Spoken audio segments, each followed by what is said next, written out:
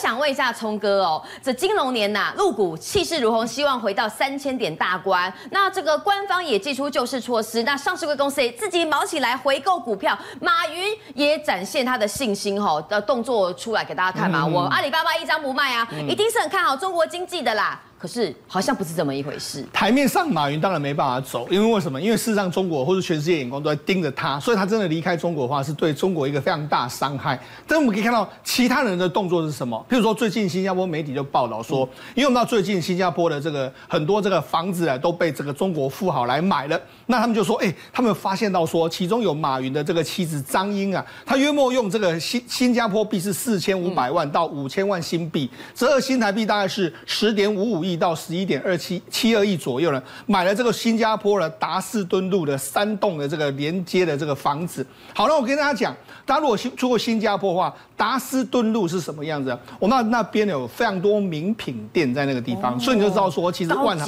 万豪酒店也在那边，所以你就知道其实这个地方是怎么样，大家可想而知。那因为呢，他在买的三个这个店，他一定是因为这个。手笔非常大嘛？你看十点多亿的这个手笔，当然新加坡人都知道，所以新加坡媒体看他们把这个照片都刊了出来嘛，那就说，哎，那就是马云的这个妻子。好，那就让人家觉得说，哦。那难道是马云？你根本不，你不不能够离开中国，但是你的老婆的钱已经都跑到新加坡去，搬到新加坡去了。对，那也就是说，名目上的话，你跑不了，但是你老婆帮你跑嘛，所以就是这样一个概念。好，那我们为什么这样说呢？其实就目前为止来说的话，中国真的是非常多风风雨雨的这个状况。比如说我们啊，最近一段时间因为年刚过，那年刚过的时候，大家很多人在说，哎，我过年的时候你没有给我薪水，就现在过了年之后你还没有给我薪水，所以你看这是什么？这是工人去包围这个哈尔滨林业局这边抗议，就说，哎，我们要。这个薪水，我们要薪水的这个状况。好，那为什么马云要跑？你看这个中国目前的经济看起来的话，刚才明君提到，嗯中国是是用很大的吃奶力气去救市。对，好不容易股市谈到两千九，快要逼近三千点，但是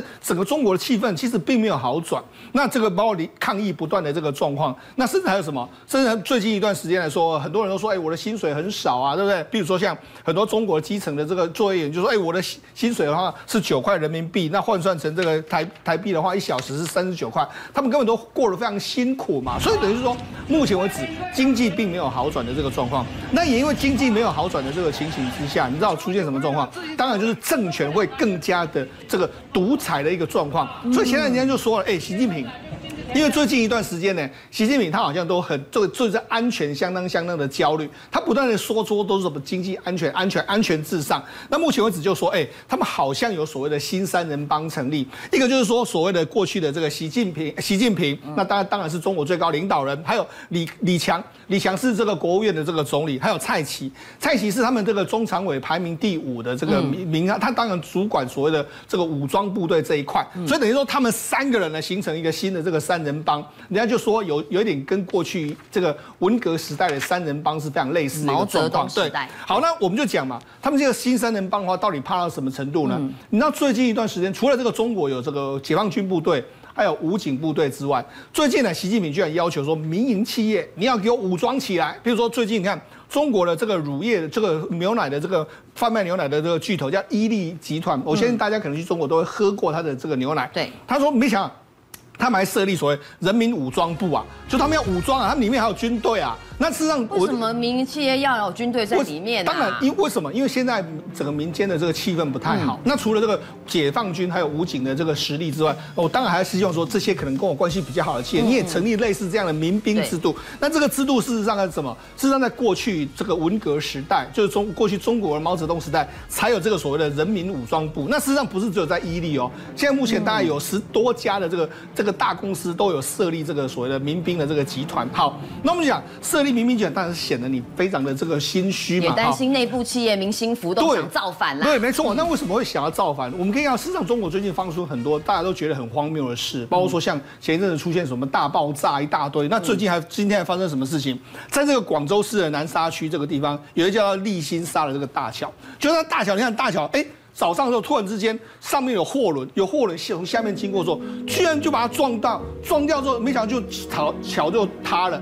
就截成两截，那因为这个事故发生的时候呢，上面有车子在那边行走嘛，就掉下去。那掉下去的时候，哎，怎么会？现在目前为止来说，大家不知道，不太确定说确切有多少人。那现在已知有两个人死亡，然后有一个船员这个轻伤，然后有这个连三个人失联。他想说，哎，这桥那么好像纸扎的做了一样吗？对啊，怎么可能撞个桥端，对啊桥段就掉下去了？所以你只是轻轻碰一下，这样子怎么会就弄成这个样子？所以有人就说，哦，这个因为这火船速度应该颇慢的吧？对，没错，应该不会很快啦。对对，因为它在江边嘛，是那应该是不会很快。就没想到撞上去，就居然就这样。人家就说这个桥到底怎么回事？那你要说不是只有这样哦？为什么？我们看上次还有一个中国当地办一个演唱会，嗯这个演唱会来说的话，它的灯光架子，灯光架子来说的话，如果你仔细看的话，它绑在什么？绑在葱上面。冲，对，它就等于用葱，然后把你绑住。你看，怎么可能撑得住这个对铁啦？对啊，所以我才说中国人，你看用绑着葱太离谱了。，对，你要说很离谱没有错，但是中国就是这么多离谱的这个事情，那、也因为说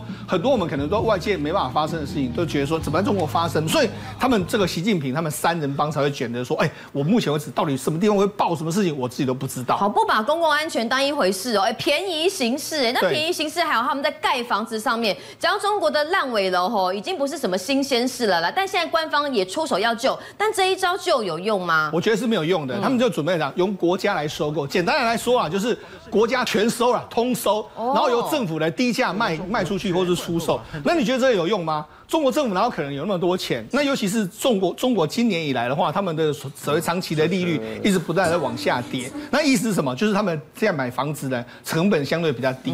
就不像中国现在很多官方机构就说，赶快来买房，赶快来买房。你看这个所谓中国城市房地产研究的这个院院的院长呢，谢毅峰他说什么？他说，哎，赶快买，赶快买，现在不买房的话，五年又白忙。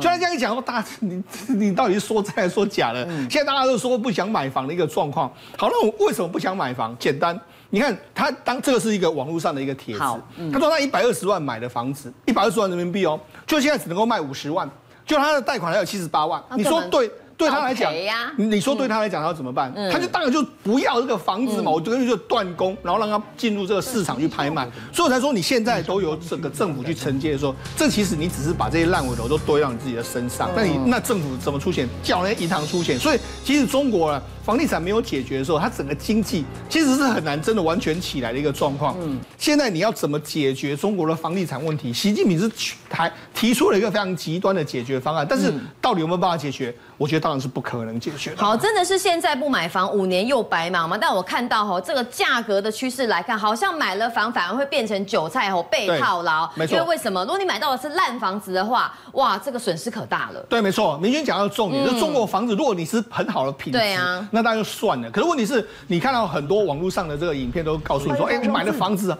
几百万买的房子都是烂尾楼，好，那各地都是烂尾楼，好，那其实不是只有中国烂尾楼，他们还输出到海外去。那我们就跟他讲，照理说啦，你如果在各，如果你是住房子烂尾就算了，可是我们讲医院。哎，医院总是要非常盖得非常好吧，对不对？台湾的医院都是用最高标准在盖，就没想你看这个，这是江苏宿迁的第一人民医院，就没想出那个大厅就塌了。哎，大厅，哎，那大厅医院的大厅哎下面来说可能平常如果你是上班时间，可能很多人在那边等着看医生，啊就没想到就塌了。候那为什么塌了？嗯我人家主要人家就说啊，可能是因为这个前一阵子来说话，不知道干什么，就是可能上面有积一些这个水啦，就是下雪的关系融化之后，整个就瘫掉。他想说这也太夸张了吧？幸好那时候是没有人，不然就真的很危险嗯嗯。好，那除了这个之外，还有一个在江苏杭州市的这个富阳区这个地方，他们在高铁西站这边有所谓的安置房屋。安置房屋简单的来说啊，就是可能目前为止来说，它品质可能都没有人住了，没有人住来说，它怎么办呢？它就目前为止就空着。空着就是这样一个状况，就没想到，哎、你这个房子你走进去看呐、这房子区里面全部都是烂尾一大堆。你看这个墙壁有壁壁损的啦，对然后这个漏水的啦，然后这个有这个所谓很多瓷砖掉裂啦，或者说它这个漆都掉下来的状况，哎、整个房间都是这样。这是非常严重的这个居住品质的这个问题。那甚至我们讲，我们现在都很重视所谓消防设备，嗯，对，你消防设备一定要放了，不然你消防设备万一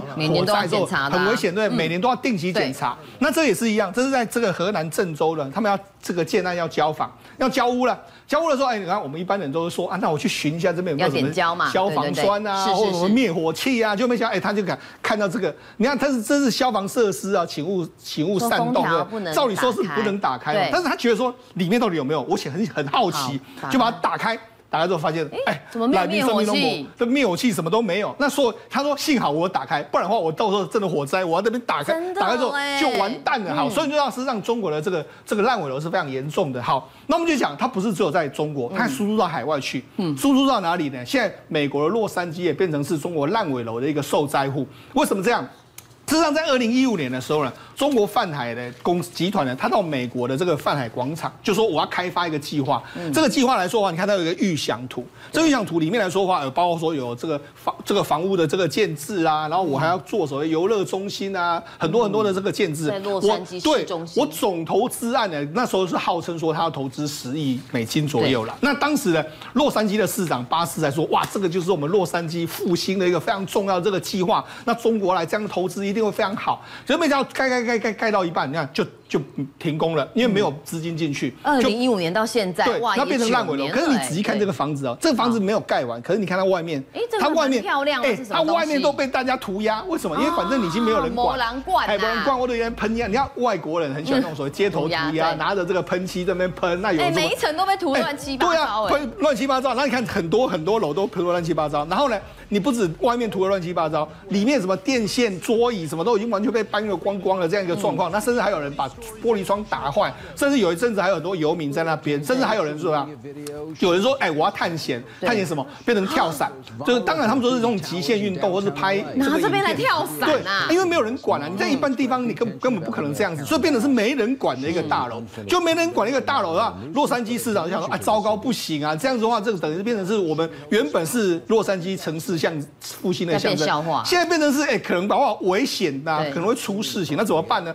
就没讲这个不但是烂尾楼，这个洛杉矶的这个相关的议会还要拨三百八十万，要请这个保全来保护这个烂尾楼，那你就知道哎，非常荒谬。所以再告诉你嘛，这个如如果你从这些蛛丝马迹都知道说，其实中国虽然说它强力救市，但在整个房地产烂尾楼那么多的状况之下，我觉得可能任何的救援都是杯水车薪。